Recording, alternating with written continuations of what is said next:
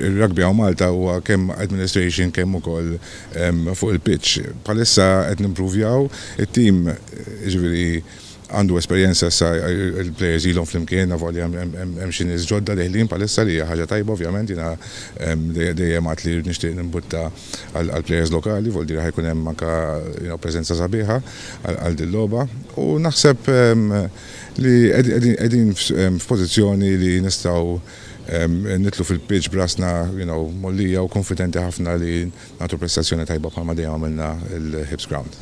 Il-filosofija tagħna issa hija li r-rebħa hija importanti. Ir-rebħa hija importanti għall-ispettaturi li jiġi, għall-isponsors, għall-feel good factor li jkun hemm fit-tim. Jiena iktar qiegħed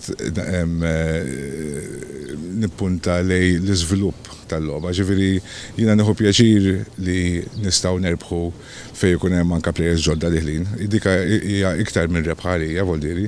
Huwa kwalinkwe tim hija sabiħa li inti tilgħab biex terbaħ, jiġifieri, però tilgħab ukoll biex tikkompeti u tikkompeti bil, you know, fiċ-ċirkustanzi u r-realtà tiegħek, Voldieri. Issa dik hija l-għan tal-Kunsill li għandna bħalissa.